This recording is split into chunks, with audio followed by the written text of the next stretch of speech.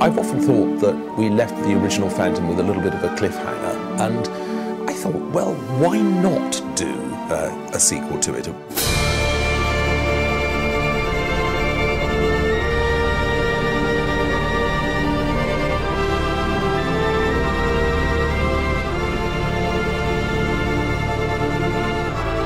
It's set in Coney Island. It was a fantastic place, beyond anything that anybody had ever seen.